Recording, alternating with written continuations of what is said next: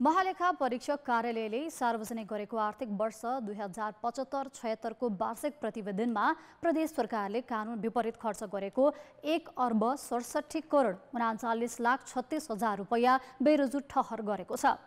मुख्यमन्त्री शेरधन राईले सम्हालेको भौतिक पूर्वाधार विकास मन्त्रालयको बेरोजुको हिस्सा साठी प्रतिशतभन्दा बढी छ।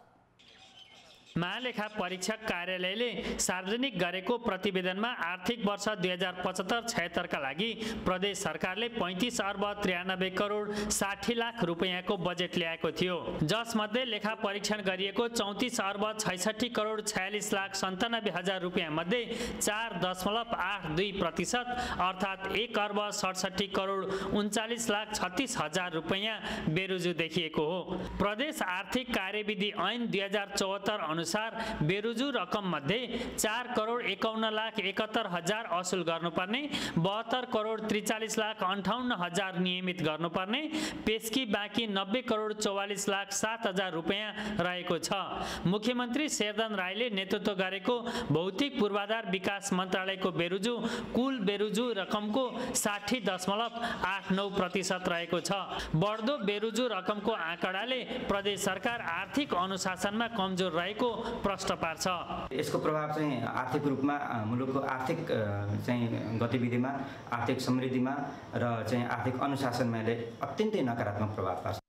प्रदेश आर्थिक कार्यविधि ऐनले महालेखा परीक्षकको कार्यालयबाट लेखा परीक्षण भई प्रारम्भिक प्रतिवेदनमा औल्याइएका बेरुजुको सूचना प्राप्त भएको पैँतिस दिनभित्र सम्बन्धित कार्यालयले तोकिए बमोजिम फर्स्योड तथा सम्परीक्षण गरी पुनः त्यसको जानकारी महालेखा परीक्षकको कार्यालयलाई गराउनु पर्ने व्यवस्था छ।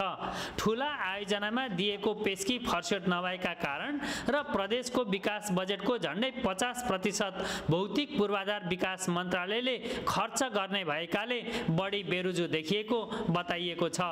सडक खानेपानी भवन आवास सबैका चाहिँ पहिलादेखिका बेरुजुहरू चाहिँ हस्तान्तरण भएर यही मन्त्रालय अन्तर्गत आउँछन् र प्रदेशको बजेटको पनि कुल हिस्साको चाहिँ करिब पचास प्रतिशत बजेट चाहिँ भौतिक पूर्वाधार विकास मन्त्रालय अन्तर्गत नै रहने एक वर्षको पूर्ण बजेट कार्यान्वयनमा नै बेरुजुको अङ्क एक अर्ब सडसठी करोड रुपियाँ पुग्नुले प्रदेश सरकारको आर्थिक अनुशासन कस्तो छ भन्ने उजागर भएको छ।